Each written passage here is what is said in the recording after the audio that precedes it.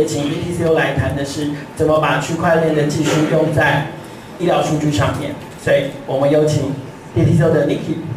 来分享，欢迎。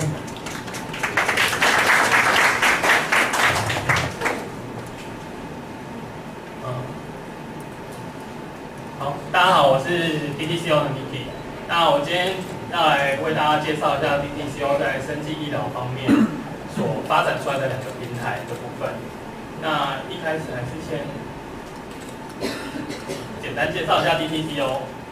那 DTCO 它是创立于二零一四年，那它主要提供的有两种两类型的服务。那第一类型服务就是呃提供呃混合式区块链以及 API，然后来协助所有产业来应用区块链这个技术。那第二个就是会开发产业所应用的区块链平台。那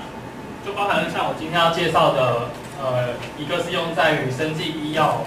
智慧财产权交易以及分享的。一个平台 BioIP6，那第二个就是整合医疗资讯的 PHRS 这个平台的部分。那 DTCO 除了这两个平台之外，它其实也在 Smart Contract 智能合约的设计以及身份认证的部分，也都有很多的开发的经验。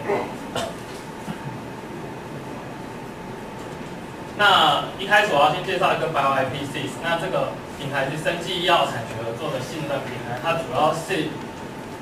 呃，算是领先全球利用区块链在生技医疗领域的一个智慧生产权交易平台。那这个平台是跟呃台湾研发型生技新药发展协会共同开发的。那在今年呃去年三月的时候正式的上线。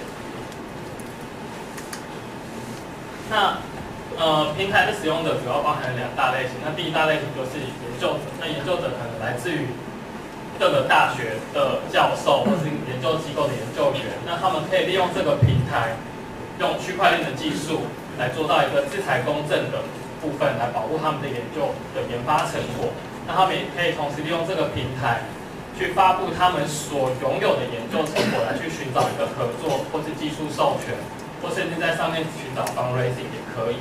那产业界进来这个平台之后，它可以透过这个平台去搜寻他有兴趣的研发案件，包含的像是一些新药研发的案件，或是医材研发案件，它都可以在这上面做搜寻。那同时，它可以直接的透过这个平台去联系，呃，发布这个研究成果的研究者。它这个平台它是一个利用区块链去做到 P to P 的呃平台，所以并没有透过一个中间的去跟研究者做联系。那双方如果达成了一个有兴趣的程度之后，他可以通过这个平台去签署一个线上保密协议的部分。那签完线上保密协议的部分呢，平台它也提供了一些呃做机密性资料交换的功能的部分。也就是说，在这个平台上面，如果你需要把一个机密性资料给另外一位的呃研究者的时候，或是给产业界的人士的时候，他会透过加密的技术，只有你指定的那个收件者，他可以去打开这个文件。所以，呃，在这整个过程当中，包含了像是制裁公正用了区块链的不可篡改的特性，后续所有的资讯的交换跟资讯跟保密协定的签约的流程当中，都会在区块链上面留下一个记录。所以我们试图是想要提供一个安，呃，相较于现在其他平台比较安全跟有效率的环境，去促进呃在生技医药领域方面的产权合作。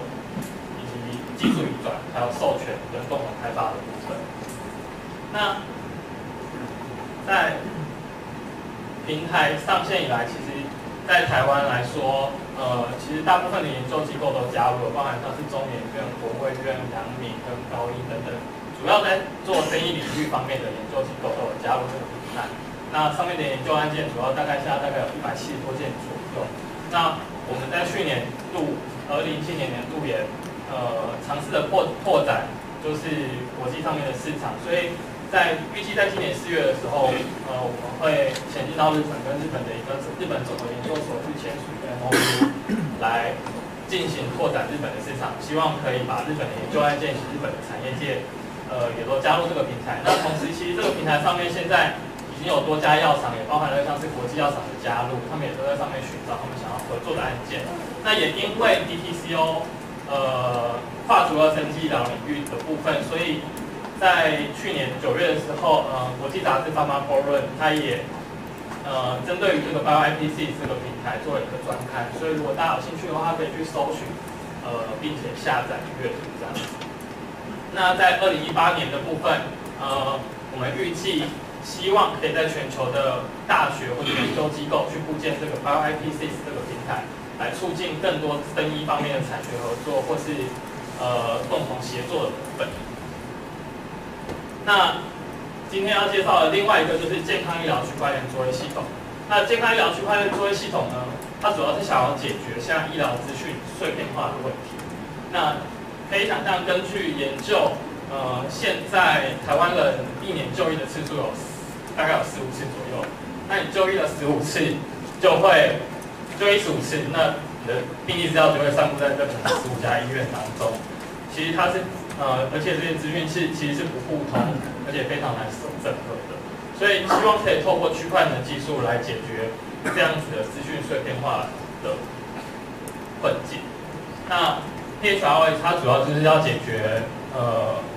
医疗资讯的安全性，提提升医疗像这样敏感性医疗资讯的安全性，同时也增加呃医疗资讯的互通性。那再者就是增加医疗资讯，就是病例资料的可惜性。呃，可惜性的部分来讲，简单来讲就是像是有一些国际医疗的部分。呃，如果你今天在国外发生了一些事情的时候，如果你拥有了你的个人健康记录的时候，你可以在当下授权给国外的医生观看你过往的病历资料。那国外的医生他就可以针对于你个人的病历资料去做出最好跟最准确的治疗方法。那我们知道，现在其实就以台湾的现况来讲，其实每个医院它都拥有自己的资讯系统，然后我们称为呃，它都会有它自己的 database，其实都是一个资讯的孤岛。那每家医院跟每家医院之间的资讯系统其实都是不互通的。那即便现在在两千年之后，呃，卫福部有推呃病例交换系统，那它其实也是局限于只有健保的资料，而且只有五大类的资料可以在这个交换系统里面去做交换。所以其实这样子的资讯交换系统，对于一个医生要给一个病人，呃，一个准确的治疗的部分，或是减少一个重复检验的部分，其实来讲是一个对于健保的支出或者是医疗的服务来讲，都是一个需要去被解决的问题。那 PHRS 它就提供了一个解决方式，也就是在医院布一个节点，那甚至于在诊所布一个节点，那在一些健康照护的机构也布一个节点，那让大家都对区块链去做一个存取的动作。那未来这些医院之间，它只要对区块链做存取，就可以达到资讯交换的部分，并不需要透过每家医院跟每家医院去做个别的串接的部分。那呃，再简单比较一下 PHRS 这个系统，如果运用了区块链之后，它跟现在台湾所提供的健康存折跟健康医疗资讯。云端查询系统有什么样的不同的地方？那以整个架构来说，PHRS 它是用分散式储存的方式去做处理的。那每个单位跟每个民众，它其实都是一个中心。那跟健康存折是以健保局为中心是不同的。那这样子的方式来去做的话，它的数据安全性是比较高的。那隐私权的控制的部分，未来如果你拥有了你的区块链的个人健康账户的时候，你是透过病人自主的授权。通过自己的授权去把你的病历资料给呃你授权的那个医师所去做观看的，但是以健保的部分来讲，就会有隐私权的问题。那呃目标的使用者其实 PHRS 的区块链，除了民众个人健康记录可以使用之外，其实医院、诊所或者健康机构，或者甚至到呃生技信号公司、医财公司等等，它都可以使用这样的区块链的里面的资料，这样只要得到民众的授权。那呃，健康存折它其实就只是提供民众去做一个健康资讯的查询，那同时健保医疗资讯云端上面，它是提供医师跟医院去做一个呃病人资料的查询的部分。所以其实 phos 它的呃应用是相较于另外两者来讲是非常广，它可以做到个人健康趋势的分析及管理，或是甚至做到智能保险理赔的部分。所以接下来呃。我讲快一点，下一张，下一张，呃呃，给大家一个呃呃范例，也就是呃未来你到医院的时候，那这个 A P P 其实呃即将就要上线了。那未来到医院的时候，医院会帮你开一个个人的区块链的健康账户，然后你可以透过这个 app，app 里面有包含了像是你的在医院就诊的记录、门诊的记录，或是你的健检的记录，以及你从穿戴式装置来的呃一些量测数据，包含了你的血压、血糖等等。那同时在这里面你也可以做到呃医疗保险的给付的部分，呃你你申请理赔的部分。那这些资料就包含了像是连呃一些 MRI 的影像，或是一些扫描断层的这样，都可以在上面做存取这样子。那以呃我们现在 DTCO 呃最快的开发应用，就是在呃智能保单跟智能保险理赔的部分。那呃当医院他把他的把病历资料给到病人身上，透过区块链给到病人身上之后，病人他其实只要透过简单的一件的授权，保险公司它的一些需要申请申请保险理赔需要的资料的时候，呃，保险公司得到那些资料之后，它可以直接的去对区块链做资料的验证。那验证完之后，它可以直接的马上做到，呃，甚至于在你在出院的时候，它就呃可能已经理赔审核完毕了这样子。对。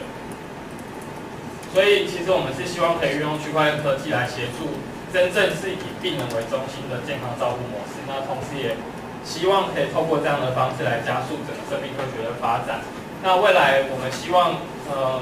在个人的区块链账户里面，不只拥有来自于医院的病历资料，那还包含了像是环境监测，或是有一些 IOT 厂商，或是你甚至你连你的运动的记录也都在你的个人的健康记录里面。那这样子。不止你可以获得更好的健康照护之外，同时你可以透过病人的授权，来促进整个呃生技药的发展，包含了像是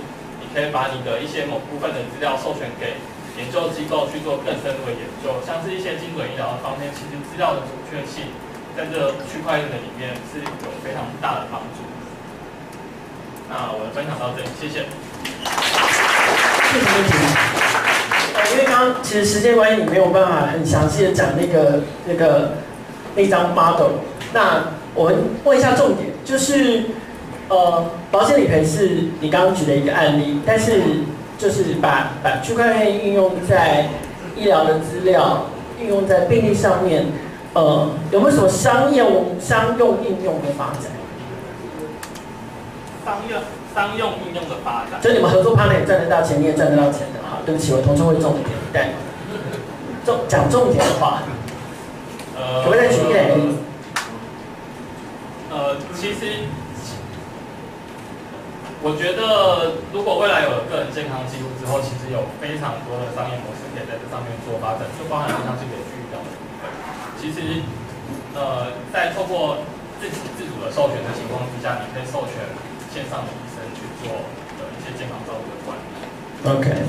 但是这个在目前我们的偏小二次的发展方面还没有到结束，嗯，所以现在还停留在医院跟保险端。OK，目前还是在医院跟保险端。可是保险端这一块，目前就是已经实际可以落地开始这样做了吗？因为我想这个 Jason 应该很有兴趣哈。对，我们是预计今年四月就可以了，因为其实这牵扯到就是医院端要先将，他一定要先有病历资料。对对，所以一定要那个 app 先上线，有了病历资料之后，呃，保险的应用才会开始发展出来。但是以整体的架构设计跟整体的呃技术端的问题都是已经解决了。OK，所以目前目前接下来可以做到的应该是理赔的部分。对。那如果是保险评估，其实也可以，因为呃大家可以看到那个 app 上面其实有健检的资料。对。所以其实在核保的过程也是可以应用。OK，所以是核保，然后那更进一步的是更进一步其他保其他的项目。其实其实，在保险应用非常非常的广，对啊，是因为他们包含了像是他们可以把保单写入区块链，直接用智能合约的方式，所以未来其实你甚至在下一个案件之后，它就可以马上的利用智能合约去审核所有的事情，之后就。OK，所以可以发展新产品。好，以保险公司。很期待，感觉跟 Soundscape 一样充满想象力。好，谢谢 Niki，谢谢。